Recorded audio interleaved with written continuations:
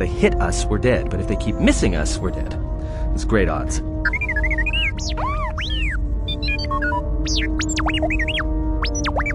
Somebody shut that trash compactor up. What are the asteroids? They can be destroyed by us as well as them, can they not? That'll take out the whole field, the colony, and maybe us.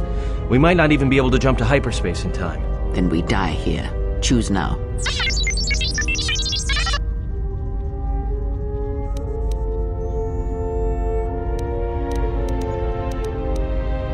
Hold on. This is gonna get a little rocky.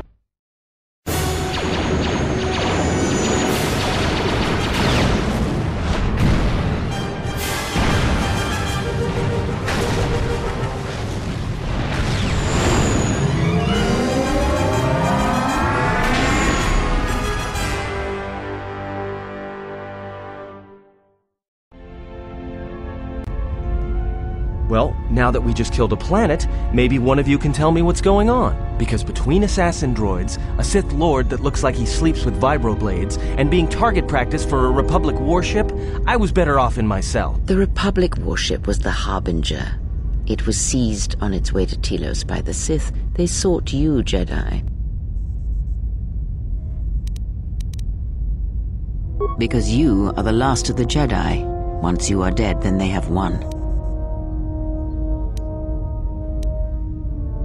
Exile or not, the Sith believe you to be a Jedi Knight, and that is all that matters. The Jedi Civil War destroyed the Jedi. By the war's end, barely a hundred Jedi remained. Many fell in battle, and many more were seduced by Revan's teachings. The Jedi Academy on Dantooine is nothing more than a crater that echoes with the ghosts of dead Jedi and the Jedi Temple on Coruscant lies empty. The waters in the Room of a Thousand Fountains have fallen still in reverence to the fallen Jedi and those now lost. Many Jedi blamed the teachings of the Jedi Masters for Revan's fall and the civil war that followed. Perhaps, but they are Jedi no longer. If the Sith have not already slain them, then they will not help you, nor can you help them.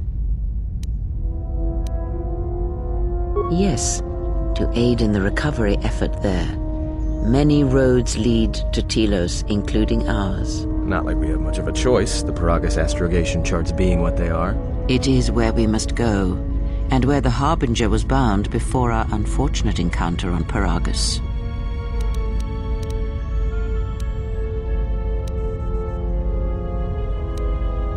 You were difficult to find, but coincidence was on our side.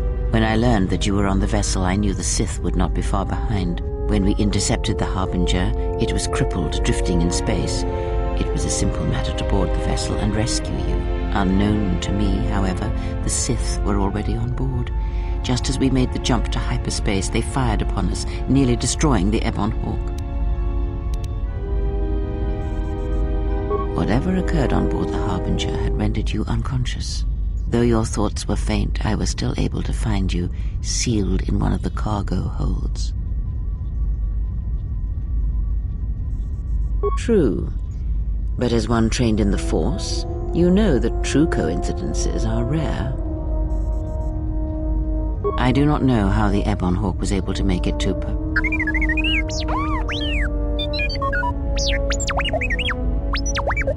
Be silent. We're having a conversation here.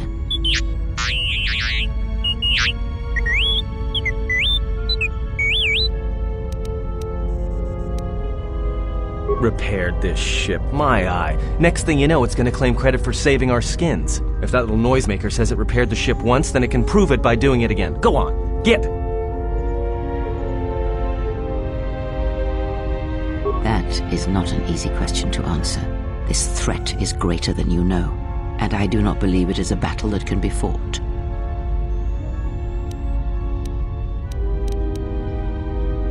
Look, enough with the we already. We cannot hope to triumph against them alone. To stop them, you will need weapons, allies, and a teacher. In the end, I fear it may not be enough.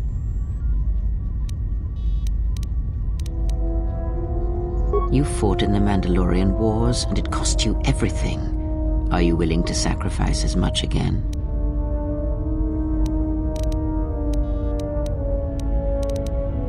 You are not listening to. This is not like any field of battle you have ever fought in. Think carefully on your choice. If you choose to fight, if you choose war, it is a path few turn from once the first steps are taken. It carries with it a terrible price. And in the end, you may find you have nothing left to sacrifice.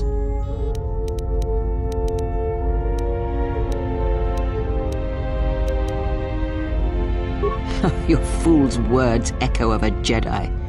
You have much to learn, but we have spoken long enough, and my wound pains me. If you have other questions, find me in the crew quarters. There we will speak more. Hey, don't stop your long, boring rants on my account. I was just getting sleepy eyed. Also, in private, we will be mercifully free from the opinions of imbeciles and fools. Look, uh, not like I care or anything, but you might want to go check on our passenger, especially with that hand of hers. We're on autopilot until we hit Telos. Until then, a droid could fly this thing. Besides, I think our passenger could use your help.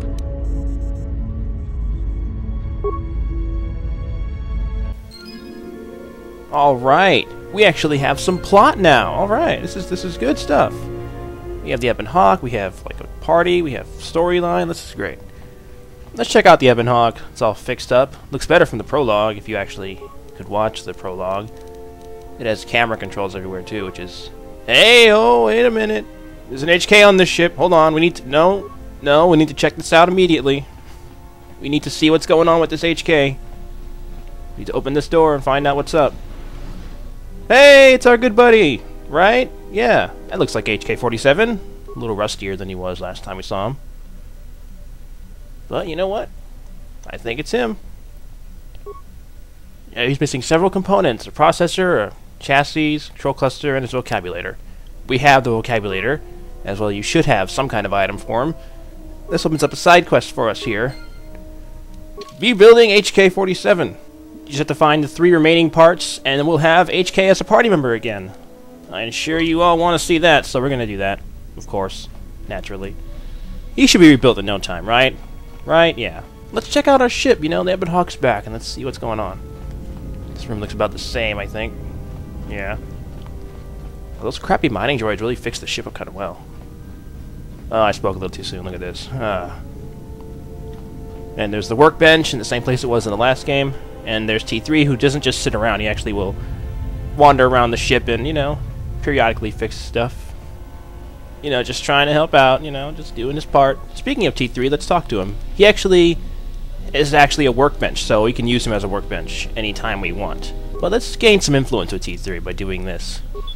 As I mentioned before, it's really easy to gain influence with T3. You just don't treat him bad. You're just nice to him and, you know, you try to care and use whatever skills you have to fix him up, like I have repair, so I can use that.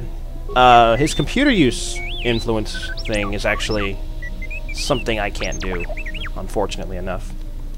It's pretty good, because we want to do that one too, but I, you know, I'll figure something out. And by figure something out, I mean download a mod that makes all my skills 99, and then, you know. I mean, I'll use another character and legitimately raise my computer use skill to, yeah, you know, it's stuff like that that I really wish you could say, hey, Atton, can you fix T3? Or, hey, someone else that actually has computer use skill, can you fix T3 for me? Uh, I guess that would kind of defeat the purpose of you being the main character and having to do stuff yourself, right? Well, I can't have every skill. I'm not a sentinel or something.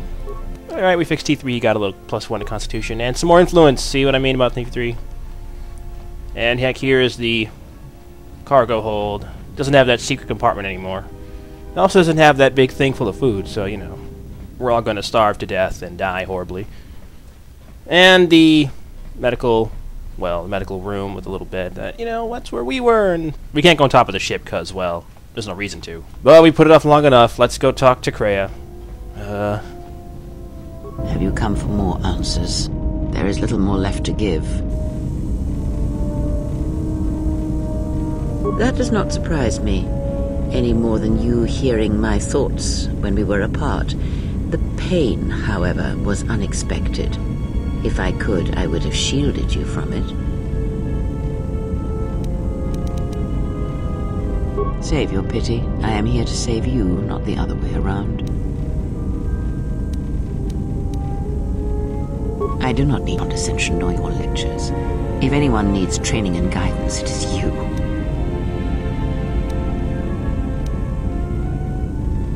I do not know if it is possible, and I fear that had the pain been more intense, the consequences would have been more extreme. Possibly, yes, and I fear it works both ways. I would not wish to test it, nor should you.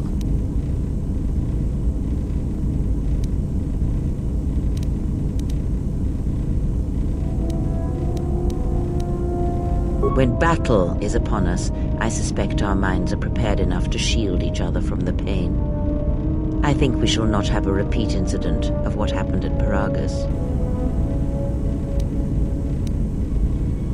I confess its nature eludes me as well, but the bond is strong, and its roots run deep. It seems the force flows easily between us. When one of us manipulates the force to heal or strengthen ourselves, the other is aided as well.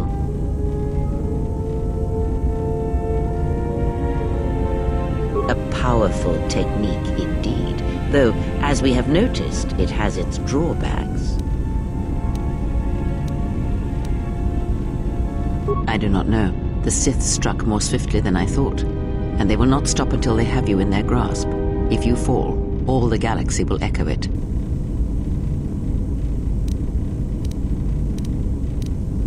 It does not matter where we go. It is not the destination that matters. It is the journey. All paths will take us to the end, whatever it may be, and no matter how strongly we fight against it. For now, we are bound for Telos, and that is enough. Before the war, Jedi who failed their training were sent to the fields of Telos to serve the galaxy, not as Jedi Knights, but as farmers and laborers. The destruction of Telos was complete. I doubt any Jedi remain. Yet there may be echoes of their passing. We shall see.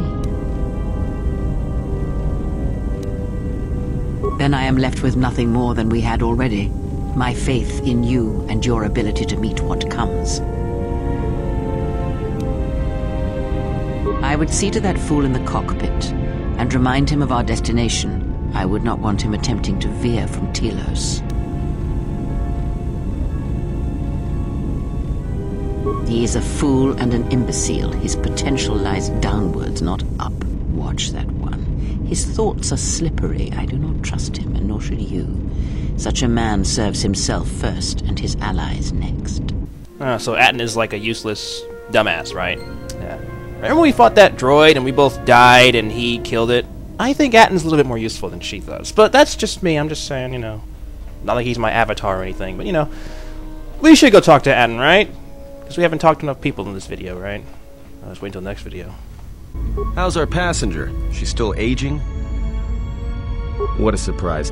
Just so you Jedi know, the whole cryptic routine isn't mysterious, it's just irritating. If you really can see the future, you should be at the pazaak table. Then she must be royalty. Because she's got to be queen of the galaxy to bark out orders like that. Or maybe she's senile. I mean, how old do you think she is? She may have been good looking once, but it takes some hard living to make creases like that. Hey, I just got out of prison. If we had a decent navicomputer, trust me, we'd be dropping out of hyperspace into the Nar Shaddaa Red Sector right now. After spacing that old witch, of course. Like we have a choice? It's the only place Peragus had logged in their astrogation charts. If you thought Peragus was dead, then Telos is a dying world they're trying to breathe back to life. Should be there before too long. You can check our course on the galaxy map if you want. It's on the wall behind you. So, what happened? Don't give me that. There were plenty of times back on Peragus where a lightsaber would have been helpful. So where's yours? Oh yeah? I thought a Jedi was supposed to be married to their lightsaber. Guess I heard wrong. Were you a single hilt or one of those double-bladed Jedi? Huh. Figures. It wasn't red, was it?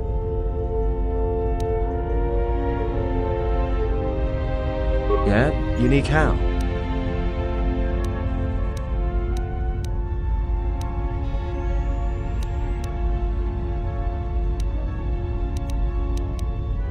Must have been something. Sure be nice to have it now. Might make those Sith think twice before coming after us. Alright, forget I said anything.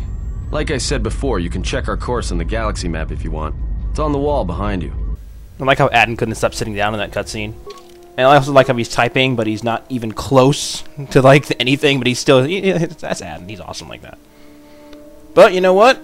I think that's about enough for this episode because we have so many, many more dialogue scenes to get through. We're gonna save those for next time. But we finished Peragus. And we're gonna go to Telos next time. I'll see you then. Take care.